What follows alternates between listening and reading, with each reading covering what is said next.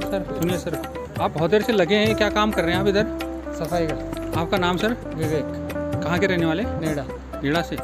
क्या सफ़ाई कर रहे हैं आप इधर?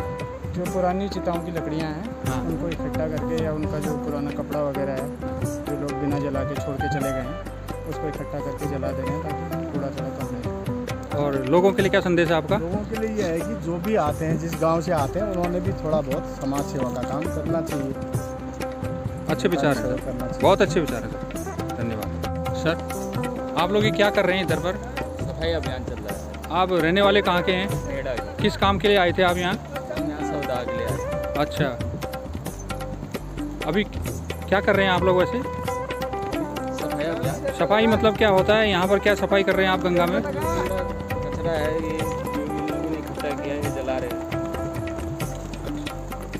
हमारे हृदय हैं। ये सभी का योगदान है इसमें?